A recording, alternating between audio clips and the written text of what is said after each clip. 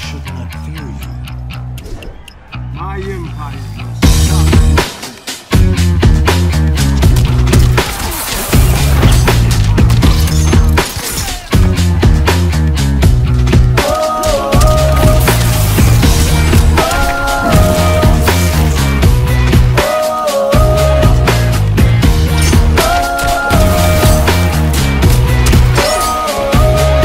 friend named Victor. The two of us used to hang every single day.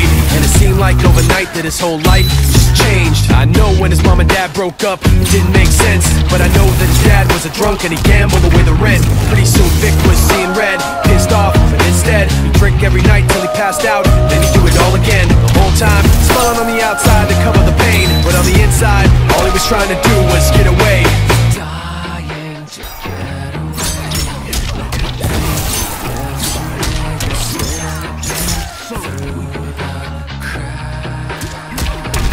Just dying to